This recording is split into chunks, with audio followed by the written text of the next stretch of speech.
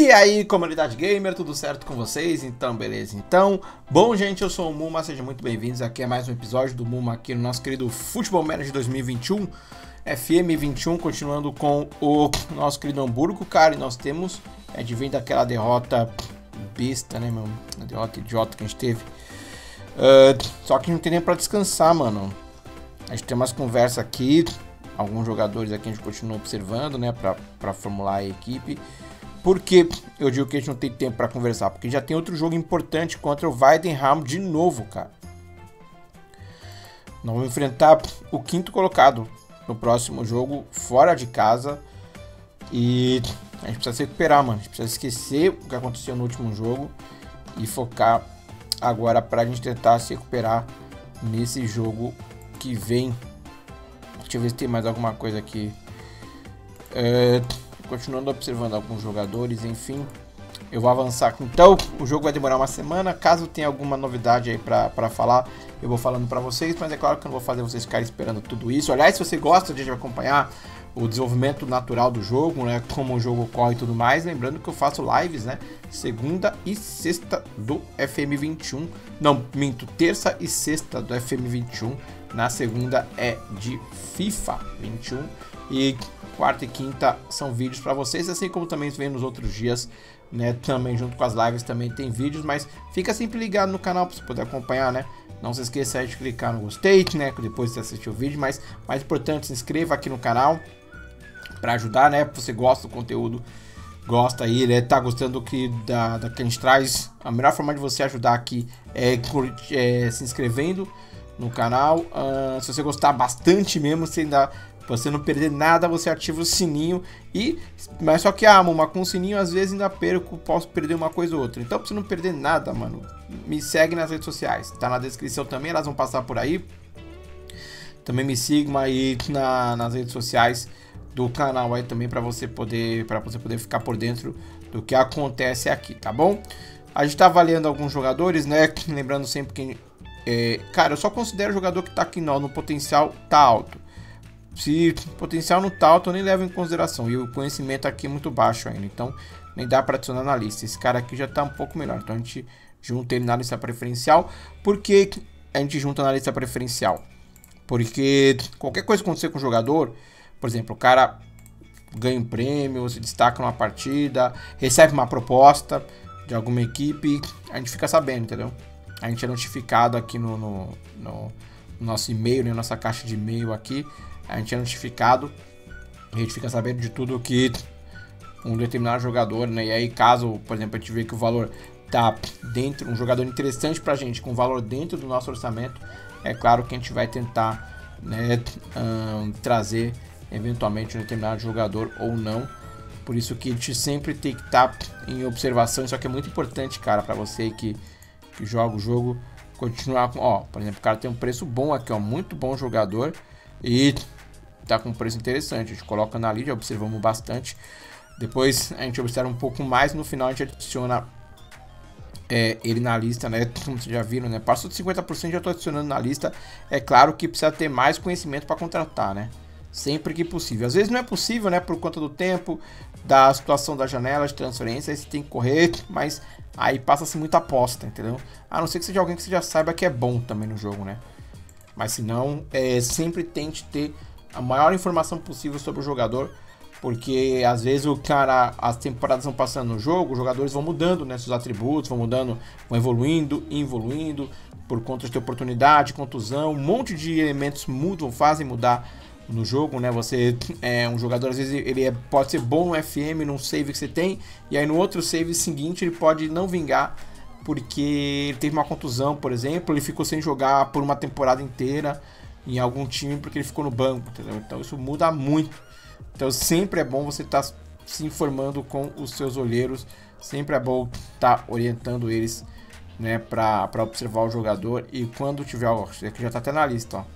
E quando tiver alguém que for interessante, você vai juntando e aí você vê dentre os que você pode contratar depois, dentro do valor que você pode contratar aqueles que têm as melhores estrelas. É a melhor forma, na minha opinião, de contratar um jogador. Eu não conheço no jogo, eu sinceramente também não confio né? Jogando desde quando eu comecei a jogar, esse, desde quando esse método, né, foi adotado, acho que foi lá no CM 2001, 2002, quando o jogo veio para Windows, né? Quando esse método foi adotado, o que, que o jogador quer aqui? Acho que tem alguém reclamando de alguma coisa. O Rister, né? Acho que tá reclamando que não tá jogando. É. Deixa eu ver. Uh, pior é que ele é o titular, mano. Pior é que ele, vou dar, vou dar uma chance pra ele, cara. Ele tá merecendo, ele tá pedindo. Ele teve, é que o jogo que ele jogou, o nosso time perdeu, né? Então eu vou dar uma chance pra ele. Prometi, pra, eu prometi vou dar uma chance pra ele. Então, como eu tava dizendo, depende muito, cara. Varia muito. É a forma mais confiável, cara. Desde que eu comecei a jogar, desde que tem o CM 2002, que o jogo veio pro Windows. É, esse método que eles criaram, eu acho o mais confiável para contratar jogador. Eu não conheço. Olhar atributo de jogador. Eu já vi jogador com atributo, teoricamente, não faz sentido o cara ser muito bom, mas no jogo ele é bom por conta de algum outro ajuste que ele tenha, entendeu? por conta de, de, da combinação dos atributos frente à posição que ele joga, frente a como seu time joga, acaba sendo bom para ele, acaba sendo bom para ele num time e acaba sendo não bom para ele em outro time. Por isso que, né, outra pergunta que muita gente faz, né? Ah, mas por que que um, um jogador ele é bom num save? O cara fala, ah, contrata tal jogador que ele é bom. Aí eu contrato ele no meu time e o cara não joga nada. Aí você vai ver a, a tática que o cara tá usando, é com a tática que você está usando, os jogadores que ele tem em frente aos jogadores que você tem, a forma como ele treina o jogador dele, a forma como ele faz o time dele jogar, é, encaixa mais para aquele jogador que é a forma que o seu time faz encaixar para aquele jogador, então às vezes ele não funciona. Isso é muito normal, isso é, é, é, o, é o, que faz esse jogo ser tão incrível, né?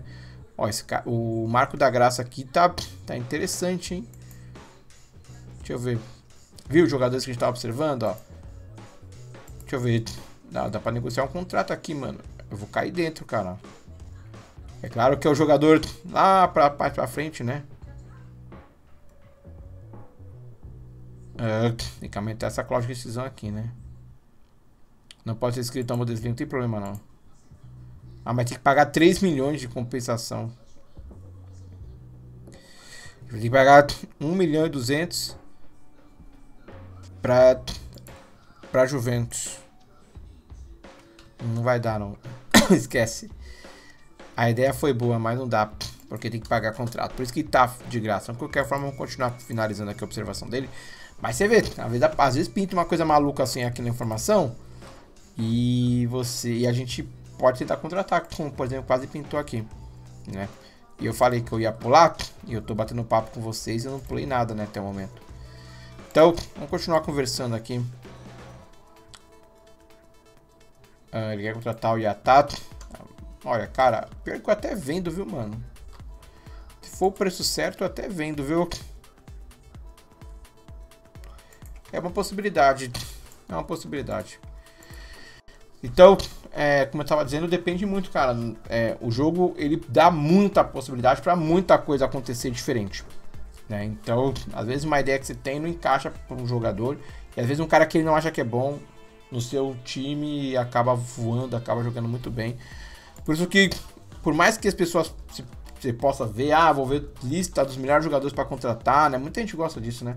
Ah, vou ver uma lista se fulano é, fulano vale a pena contratar ou ciclano vale a pena contratar, né?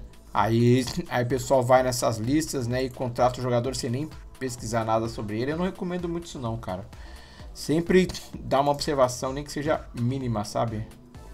Do, do jogador pra você saber o que você quer fazer. Pra você saber do, do que que. Tô tirando o jogador da lista porque não tem aqui no máximo, lembra que eu falei pra vocês? Não tem. Não é um jogador que, que, que ah, não acho que ele vale a pena. Porque não tá na lista que o pessoal falou, né? Então, vale a pena. Vale a pena. Uma das, uma da, é a melhor mecânica que tem no jogo, é, que, é o que você mais usa, é a que eu acho que você mais se diverte. É a mecânica de pesquisa de jogadores, de olheiros, de conhecer olheiros de Atata tá Bravo. Ele quer o contrato novo. Tá bom. Então, é, eu acho muito interessante do que propriamente você já ir, né? Porque tem pessoal lança, né? Quem lança a lista faz com base nessas nessa nessas informações que ele pesquisa dentro do jogo, né? Ou ele vai no editor, vai nos jogadores que tem mais destaque no editor, né? E vai pegando, ele organiza o editor por, por potencial, por habilidade, não, leva em consideração nada, atributo nada, só pega habilidade, potencial e joga lá. E é uma forma de você analisar o jogo, entendeu? Mas uh, sempre, pelo menos, não tô falando que é errado, mas porque até porque, como eu sempre falo, não existe jeito errado de jogar futebol manager, né? Errado é você não jogar o jogo. Então, dá uma estudada é, no jogador, cara. Usa a ferramenta, entendeu? Vem aqui, se tiver na dúvida, vem na observação, jogadores. Você pode botar aqui pesquisar jogador. Você seleciona, faz uma pesquisa aqui, você limpa por idade, por posição que você quiser. Aí você seleciona um monte aqui, aperta o botão direito. E aí você bota aqui o relatório, obter relatório de observação. E aí você observa os jogadores. Depois você recebe o relatório e se você, tiver, se você tiver mais dúvida ainda, você tiver aqui responsabilidades, observação, você manda atribuir olheiro. Você deixa o seu olheiro-chefe mandar, porque ele vai mandar o pessoal para observar os jogadores. Ou você pode fazer isso manualmente, mas aí já é mais. Já exige uma, uma dedicação um pouco maior e eu acho que nem é tão necessário. Que você pode deixar o próprio olheiro-chefe mandar, que sempre vem informação de jogadores que você tem possibilidade, entendeu? De contratar. Uh, já tá chegando a hora do jogo, né? Ó, Gabrielzinho. Ah, já tem 24 anos. Não esquece. Já tá chegando na hora do nosso game aqui contra o adversário. Jorge Escobar. Tá. Então a gente vai começar a se preparar, começar a pensar nessa partida. Porque vai que, né? Ó, esse rapaz aqui parece ser bom e tá um preço bom. Mas tem pouco conhecimento dele. Isso aqui pode mudar conforme você vai tendo mais conhecimento. Por isso que você observa mais. Quando passa 50% é muito difícil mudar, né? Então já pode começar a ficar mais, mais, mais.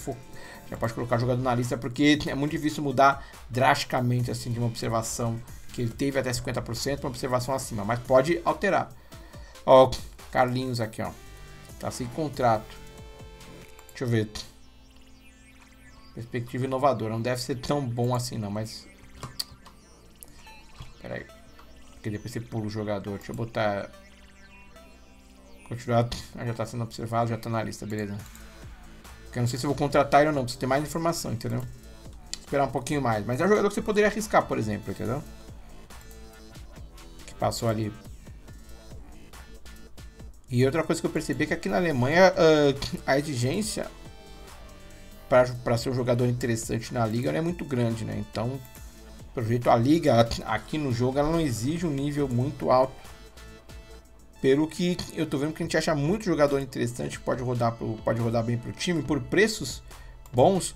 Só que considerando que depois né, na, na, próxima, a próxima divisão já é a divisão principal, né?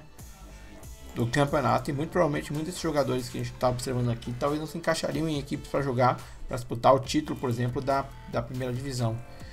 Então, tem que lembrar também isso, as observações elas duram durante, é, elas, elas valem muito considerando o seu período atual de equipe, entendeu?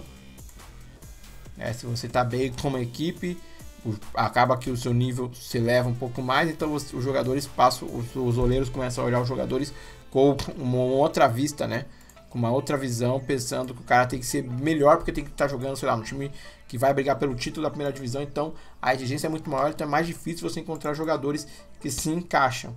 Se você está no nível mais baixo, a, o leque é maior, então a possibilidade de aparecer mais jogadores é mais fácil.